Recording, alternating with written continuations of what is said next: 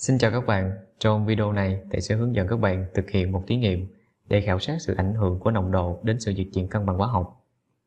Đầu tiên chúng ta cho khoảng 1 ml dung dịch K2CrO4 có màu vàng vào ống nghiệm. Tiếp theo chúng ta cho thêm hai giọt H2SO4 0.1 m. Khi đó chúng ta sẽ quan sát thấy dung dịch từ màu vàng chuyển thành màu da cam.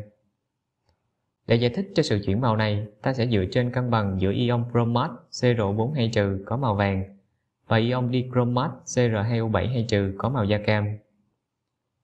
Và chúng ta cũng sẽ dựa trên nguyên lý dịch chuyển cân bằng hóa học Le Chatelier.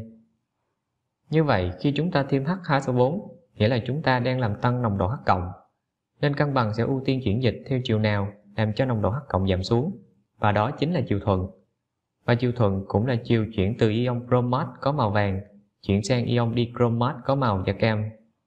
Như vậy, ion dichromat sẽ bền trong môi trường axit. Còn nếu sau khi dung dịch đã có màu da cam rồi, mà chúng ta lại thêm tiếp vào đó là dung dịch NaOH 0.1m từ từ cho đến dư, thì màu da cam sẽ chuyển ngược lại thành màu vàng ban đầu. Vì khi chúng ta thêm NaOH thì NaOH mà chúng ta thêm vào sẽ trung hòa với H cộng và làm giảm nồng độ H cộng trong hệ. Nên khi đó, cân bằng sẽ chuyển dịch theo chiều làm tăng nồng độ H cộng lên trở lại, và đó chính là chiều nghịch. Và chiều nghịch cũng chính là chiều từ ion dichromat CR2O7 trừ có màu da cam, sẽ chuyển thành ion bromat CR4 trừ có màu vàng, và ion bromat CR4 trừ sẽ bền trong môi trường 3 giờ.